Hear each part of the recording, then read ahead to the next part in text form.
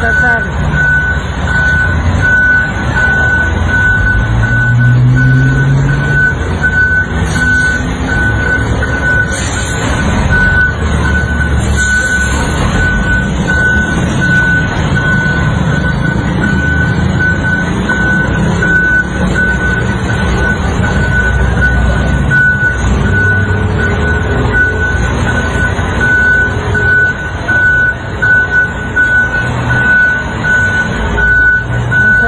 Bajar tres pedazos del terreno.